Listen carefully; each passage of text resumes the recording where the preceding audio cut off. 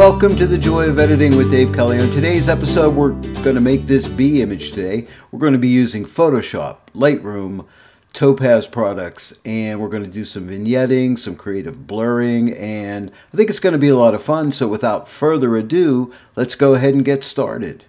So this is a camera raw image and this is right out of the camera. No editing on it so far. The first thing I like to do in Lightroom is click the auto button just to see what Lightroom can do with it because it uses artificial intelligence. And that looks pretty good. It's clipping the highlights a little bit and the shadows. I'm not worried about the shadows. I think they're good, but I do not want to clip my highlights. So, and if I hover over this little triangle, you can see, see on the bee there where it's clipped right there. So all I want to do is take the whites and just watch this clipping triangle right here and just pull this back till the clipping goes away right there and that's good. Um, then I'm going to come down to detail here just to show you. I'm not going to do anything here. I'm just going to use the default sharpening setting of 25 it's very minimal. I'm not doing noise reduction. I'm going to let Topaz handle that because they have the best noise reduction and sharpening software on the market today. So we're going to leave that alone. Uh, let's go back to basic here it gave me a little bit of a vibrance bump here, so I can just play with this a little bit, make sure it's not overdone. And I think that looks pretty good right around there. The overall white balance, I think, looks good. Uh, I have a Canon, and I usually leave it on auto white balance, and for, for the most part, it does a good job. So if the image looks good right out of camera, I don't touch it. So that's that. The next thing I need to do is go into Photoshop, but before I do that, I just want to show you also in my lens corrections, I have remove chromatic aberrations checked and also enable profile correction, which automatically finds my lens. And I always like to do that. All right. So now we're just going to right click the image and edit in Photoshop. I'm using Photoshop 2020 and that'll open up Photoshop 2020. The first thing in Photoshop I want to do is crop this image. So I'm going to get the crop tool and I'm going to leave it in the original ratio. I'm just going to pull this right side in a bit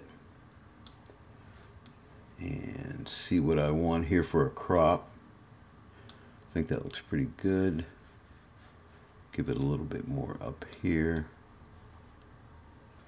Uh, maybe just a little bit more. I think right around there. There's a couple things I don't like in here, like this little area right here and this red of a flower right here. I'm going to take care of that and I'll show you a really cool way of getting rid of that. All right, but for now I think that looks good. I'm just going to go ahead and delete my crop pixels. Uh, if you click on delete crop pixels when you do the crop and click this little check here, you're committed to that crop. You can't go back. So if you're not really sure if you like that crop, don't check off this delete crop pixels. Very important. But in my case, I'm happy with this crop. And so I'm going to leave it just like this. Now I want to duplicate the background layer. That's Command or Control J. And then I want to open up a, a plugin called uh, Topaz Denoise AI to get rid of any noise in this image. I think I shot this around ISO 800, so there's not a whole lot of noise in here. So I'm just going to let this do its auto thing here. It does a little bit of, well, it does noise reduction, great noise reduction, and it also sharpens the image a little bit. So I'm just going to let it do, do that, which is already done. And now I'm just going to click apply. So I'm just in and out of this program. It's really fast, except for the actual processing itself. It takes a little bit of time. It's, it, it is pretty quick, though. Um, but it's it's worth the wait because the artificial intelligence does a marvelous job. I've never seen noise reduction software like this ever. It's fantastic. It totally removes noise completely, and I love that. Well, we denoise, now we need to sharpen. So let's come up to filter. We're going to go into Topaz Labs and sharpen AI. And what we're going to do in here is do some really uh, great sharpening to our image here. Now this image here has some issues to it because I may have moved my camera a little bit. It's it's slightly out of focus in areas where I'd like it to be a little bit sharper. Let me zoom in here to 200% so you can see it here. It's not bad right here, but I think I can pull some more sharpness out of here. Now let me just pull here so we can look at the wings and the little hairs on the bee itself. Okay, now there's three modes in uh, Sharpen AI. There's Sharpen, There's stabilize and focus. Focus is if you, you know, were slightly out of focus, it'll pull those areas back into focus, and it does wonders there. Stabilize is if you had a little bit of camera shake or something like that, it will take care of those issues. In my case, I know I may have moved my camera slightly, so I'm going to click on stabilize, and I'm going to click update preview, and let's see what this thing does here. It's going to use its artificial intelligence. I think you're going to really be impressed with this. So we'll just wait for it. Hurry up. You're almost there. There it is. Fantastic. Look at all the detail that it brought back. Look at all this right in here. It's really crazy. And then all we have to do is click apply and we're in and we're out. We're not bringing out any noise in the image. In fact, even Sharpen AI has some noise reduction capabilities, so it'll remove noise as well. And it will not sharpen areas of noise. It's very intelligent that way. And this is a real-time um, process here, so however long you see it takes, that's how long it takes on my computer. It's an iMac 2019 with a 8 gigabyte GPU and a i9 processor. And we're back in Photoshop. Let's go ahead and zoom into this image. And it's amazing. This software has saved me countless images that were slightly out of focus that were just going to be throwaway for me. So here's the before and here's the after. And I'm zoomed really far in here. So pretty amazing job.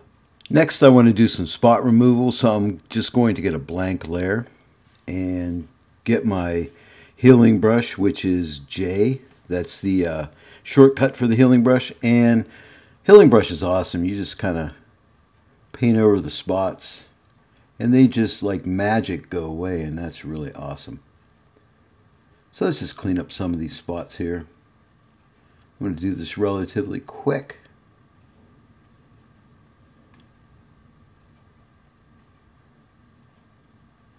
And I think that's pretty good.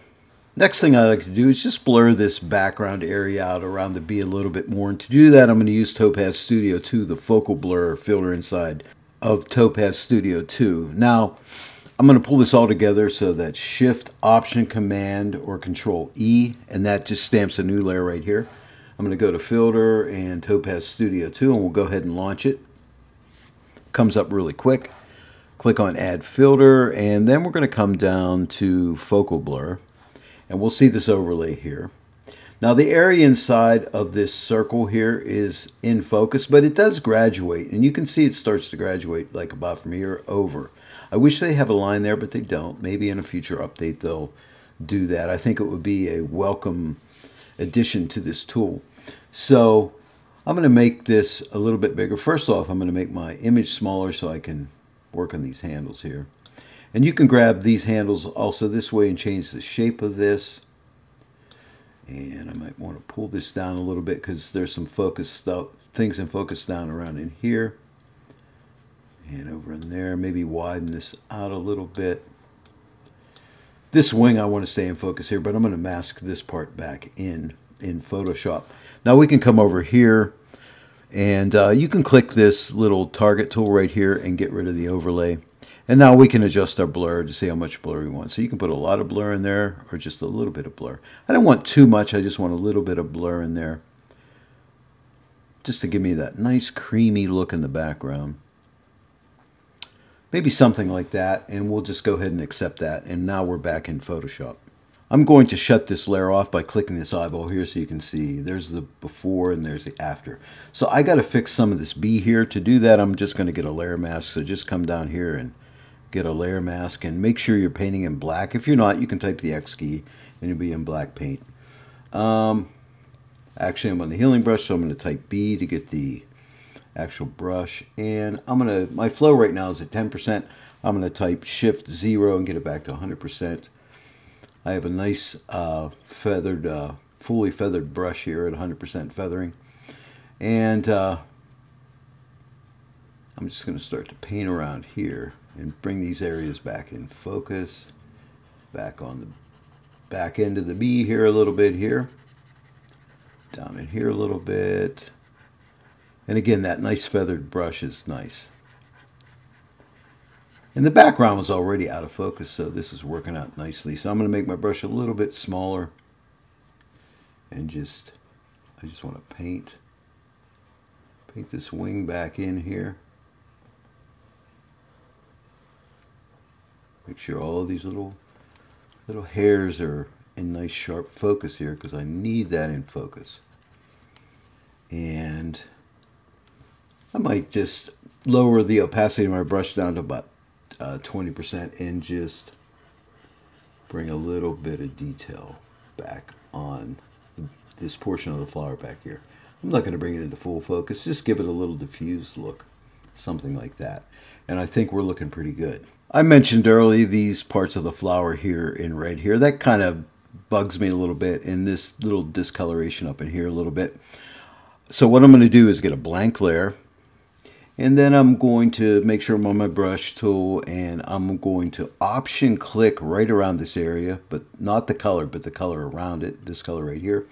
I'm going to change the flow of my brush to uh, 10%. So that's a shift one to do that.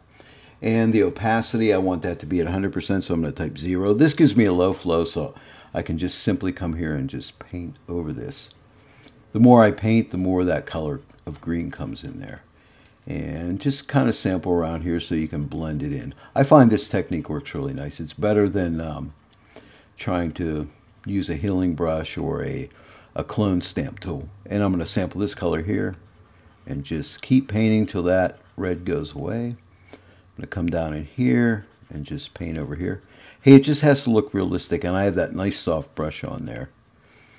Paint in here a little bit. Sampling all around, that'll make sure you're getting a nice blend. And that low flow, like I said, really helps you to just blend things in and you'll never even know that I did that. Down here, it's a little light right here, so I might just sample like this color right around in here and just paint over that. And while I'm on this painting layer, this little yellow over here bugs me a little bit, so let's use that same technique here. Sample that color, low flow, just paint over that, maybe grab some of that color and just kind of blend this all in, maybe some of that. And just like that, we're pretty good. I might just grab a little darker pink there. And I think we're good. The last thing I want to do is add a vignette. So I'm going to add a vignette around the bee here. And also I want to lighten up this, the center of the vignette. And I'll show you a really cool technique for doing that. Uh, to do it, get your lasso tool, and you can just type L on your keyboard to get your lasso tool and draw a loose selection around your bee. Like that. Now the next step is important. You want to right click and go to feather and you want to feather anywhere between 3 to 400 pixels. I'm going to choose 325 and click OK. Now the next step is come to your adjustment layers and get a curves adjustment layer and uh, you could actually use any adjustment layer. I'm just choosing curves because I'm just used to using it. And the next thing is this selection or this mask is opposite of what we want. So you're going to command, make sure you're on the mask, command or control I to invert the mask. And then you're just going to change the blend mode to multiply, which darkens everything in the white portion of the mask, protects the inner circle here of the mask, the black area. And then just take your opacity and pull it the whole way off and just slowly build it to the right and add a little vignette. And that draws more attention to the bee. And now I want to lighten the inner portion of the bee here. So I'm going to, let's get another adjustment layer. And we'll do another curves adjustment layer. And here's a little trick. If you option click or alt click and drag up onto this from this curves one layer up onto curves two. So I'm going to option or alt click and drag up. It'll say, you want to replace that mask? Why, yes, I do. Sure. Now, it's the opposite of what we want. So all we have to do is make sure that mask is selected. Uh, Command or Control I to invert it. And now we've inverted the mask. So now click on this little icon right here and make sure your, your uh, properties uh, menu is opened up here and you'll see your curves inside it. And just take the center of that curve and drag up and that just adds a little bit of lightness to the, to the bee itself right in there. So let me click this here, this eyeball. There's the before and there's the after. Well, we're finished and let's see how far we've come. So if we come to the background layer and uh, Option or Alt click the eyeball in the background layer, we'll see the before. So we came from there and went to there. So I'm really happy with it. And if you're really happy with your image, all you need to do is come up to File, and click save and that'll save that out. And when you go back into Lightroom, which I will, I'll go right back into Lightroom and you'll see there it is right there. Save right back into Lightroom for you. We can uh, turn the lights out in Lightroom, type the L key twice, and there's our final result. I'm pretty happy with it. I hope you enjoyed this tutorial, and I hope you learned a lot. Well, thanks for joining me today. I hope you enjoyed this one. If you enjoyed it, please give it a like and share it with your friends. And also, if you're not yet subscribed to my channel, please subscribe and click the bell notification icon. This way, every time I upload a new training tutorial, you'll be notified. Thanks very much for joining me today on The Joy of Editing with Dave Kelly, and I'll see each and every one of you right here next time. But until then, happy editing.